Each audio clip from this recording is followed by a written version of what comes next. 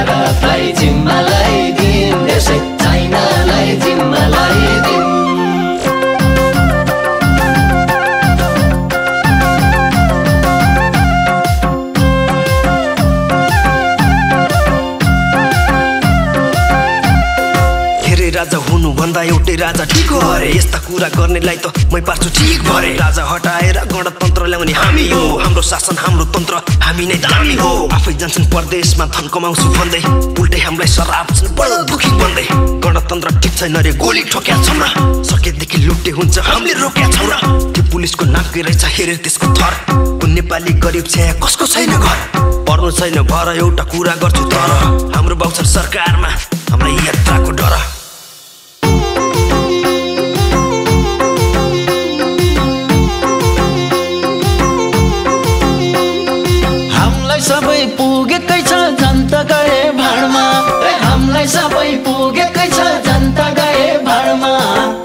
तक डुबाइदिउँला रक्सी मासु जाडमा ए, चुनाव तक डुबाइदिउँला रक्सी मासु जाडमा खल्ली बल्ली स्वाभिमान देशै बेची खाइदिम। ए किन चाहियो स्वाभिमान देशै बेची खाइदिम। भारतलाई जिम्मा लगाइदिम देशै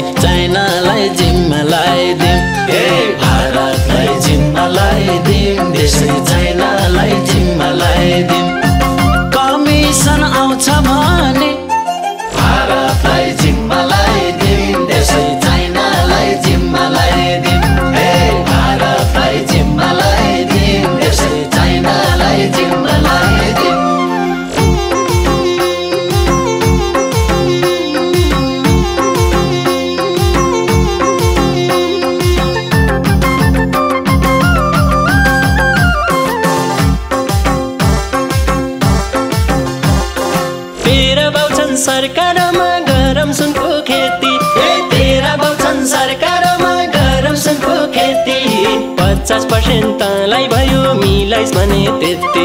ए पचास पर्सेन्ट तँलाई भयो मिलाइस् भने त्यति।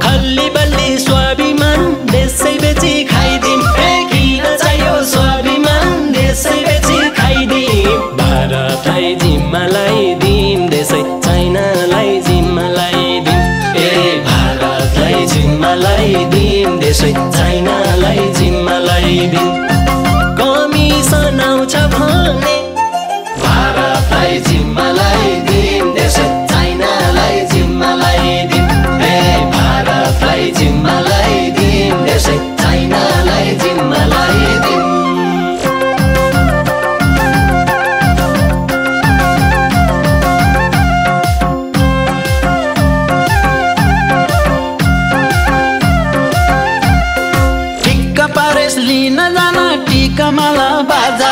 ठिक्क पारेस लिन जान ठिक्क मला बाजा. बाउलाई भनेस् हाम्रो नाइके छुट्याउनु छ आज। ए बाउलाई भनेस् हाम्रो नाइके छुट्याउनु छ आज। खल्ली बल्ली स्वाभिमान देशै बेची खाइदिम ए किन चाहियो स्वाभिमान?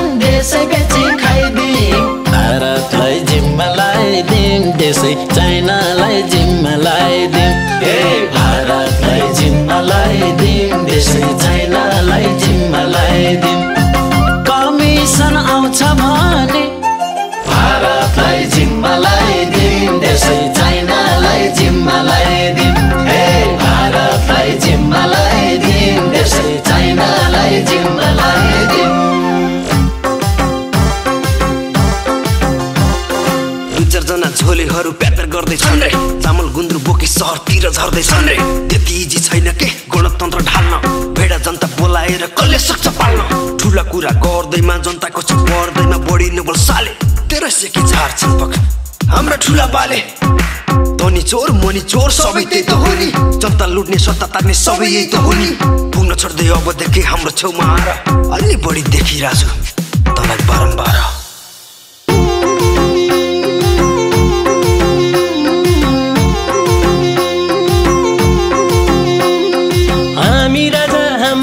शासन सबले हामीलाई ढोक्छन् ए हामी राजा हाम्रै शासन सबले हामीलाई ढोक्छन् मन लागेको गर्दे साथी हेरौँ कसले रोक्छन्। ए मन लागेको गर्दे साथी हेरौँ कसले रोक्छन्। खल्ली बल्ली स्वाभिमान देशै बेची खाइदिउँ। ए किन चाहियो स्वाभिमान देशै बेची खाइदिउँ। भारतलाई जिम्मा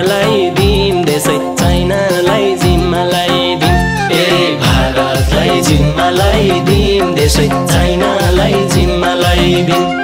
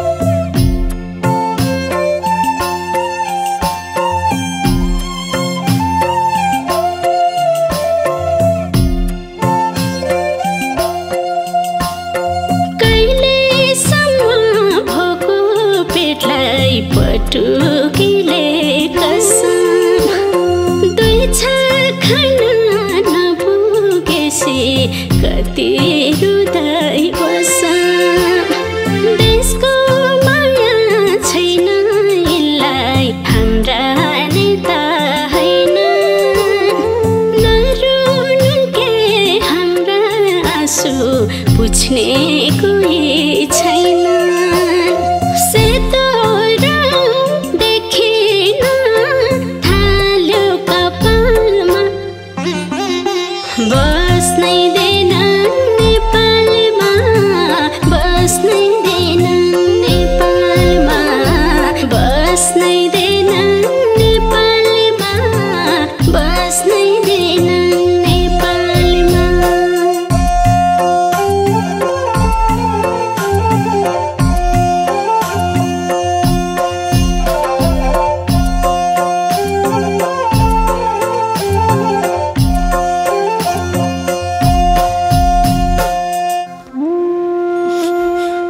नरुनुहोस् बाबु।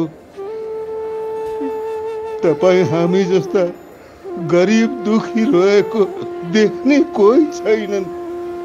हामी आफै सम्हालिनु पर्छ जस्तो सरकार आए पनि आखिर हाम्रा छोरा नातिहरू पराईको देशमा गएर ज्यान गुमाउनै परेको छ।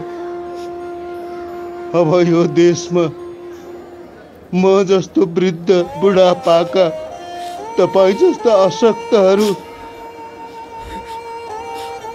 यिनीहरू जस्ता बालकहरू मात्र रहने भए होइन त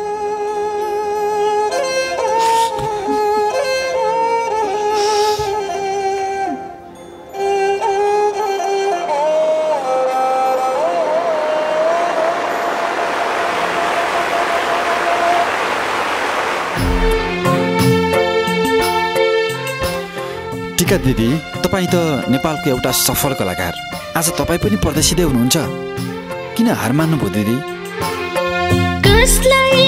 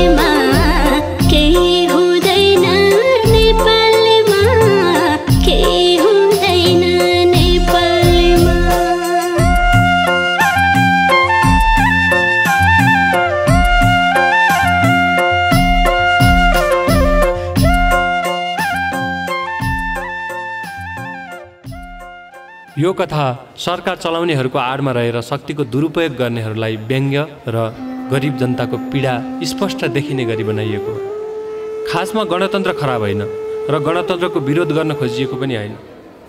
सत्ता खराब मान्छेहरूको हातमा पर्यो। त्यसैले त मान्छेहरूमा बिर्तिस्न पैदा हुँदै गयो। हुन पनि गरिब जनता रुँदै परदेशिनुको पीडा कसले बुझेको छ र यहाँ?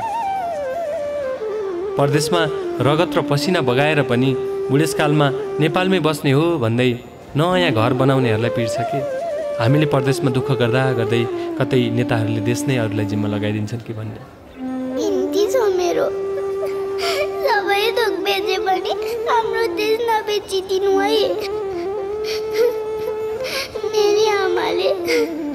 विदेश गएर पैसा कमाएपछि हाम्रो भत्किएको घर बनाउला भन्नुभएको छ। प्लिज नेताजी म ठुली हुँदा। हाम्रै देशमा जागिर गर्न पाउने व्यवस्था मिलाइदिनु है। बुबा आमासँग छुट्टिएर बस्न त साह्रै गाह्रो हुन्छ कि?